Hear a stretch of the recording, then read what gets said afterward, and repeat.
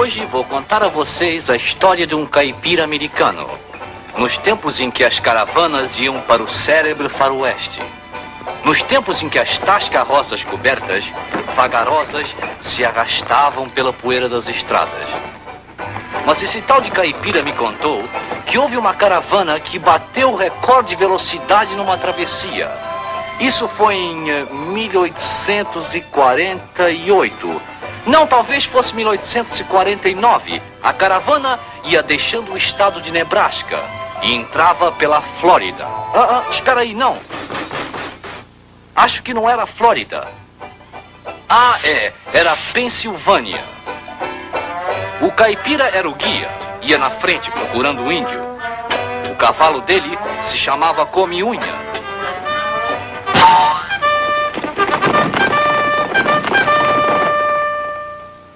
Porque quando ficava nervoso, comia as unhas todas.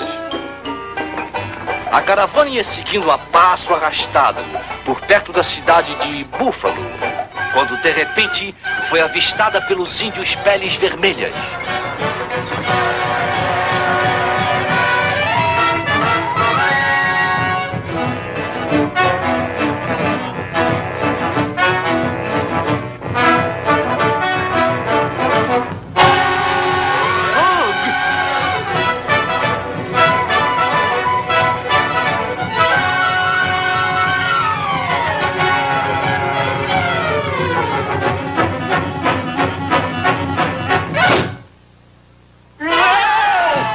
Instante, de todo lado dos Estados Unidos, apareceu índio que nem formiga.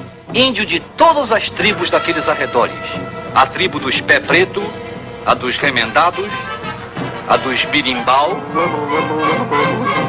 e até um índio da tribo dos bate-bola. Depois chegou o cacique cara na chuva.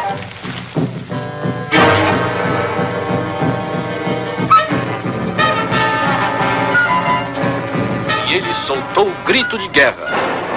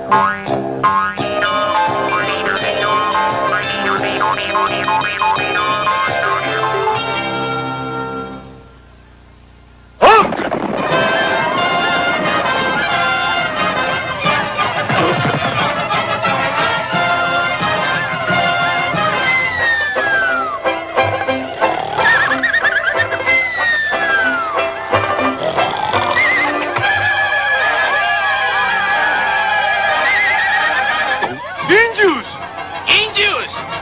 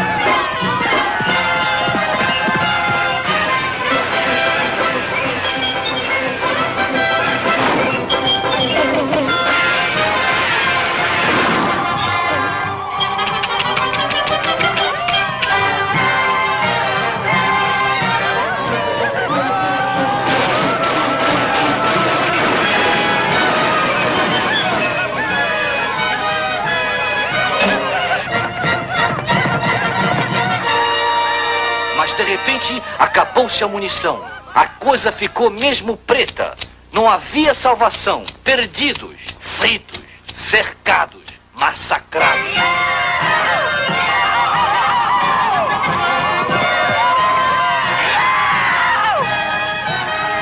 Ei, para aí, pessoal, um momento.